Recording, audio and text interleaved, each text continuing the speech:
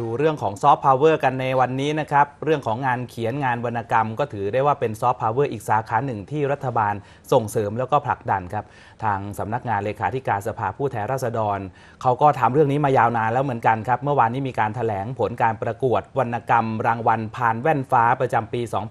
2567 ประเภทเรื่องสั้นและบทกวี เพื่อส่งเสริมความเป็นประชาธิปไตยครับ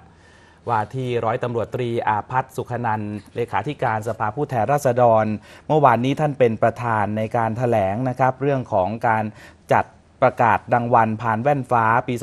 2567 พร้อมด้วยนายอดุลจันทรศักดิ์ศิลปินแห่งชาติสาขาวรรณศิลป์นางชมัยพรบางคม ศิลปินแห่งชาติสาขาวรรณศิลป์นางนรีจิรโพรัตนายกสมาคมนักเขียนแห่งประเทศไทย และรองศาสตราจารย์ทวีศักดิ์ปิ่นทอง อดีตคณะบดีคณะมนุษยศาสตร์ มหาวิทยาลัยรามคำแหง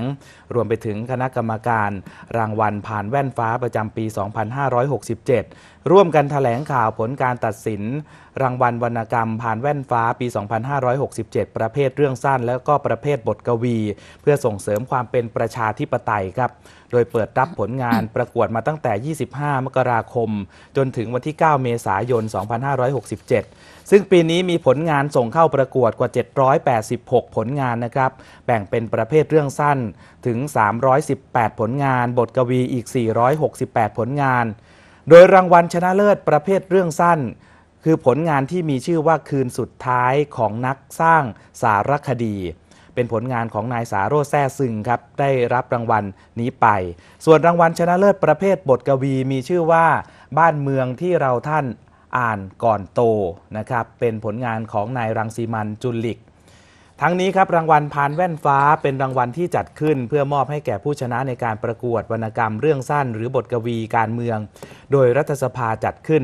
เป็นการสนับสนุนการปกครองระบอบประชาธิปไตย ในระบบรัฐสภามีพระมหากษัตริย์ทรงเป็นประมุขและส่งเสริมให้ประชาชนได้ใช้เสรีภาพทางการเมือง อีกทั้งเพื่อสืบสานสร้างสรรค์วรรณกรรมการเมือง ให้มีส่วนปลุกจิตสำนึก ประชาธิปไตยเป็น soft power อย่างหนึ่งในการปลุกประชาธิปไตยสำหรับพานแว่นฟ้าก็หมายถึงพานที่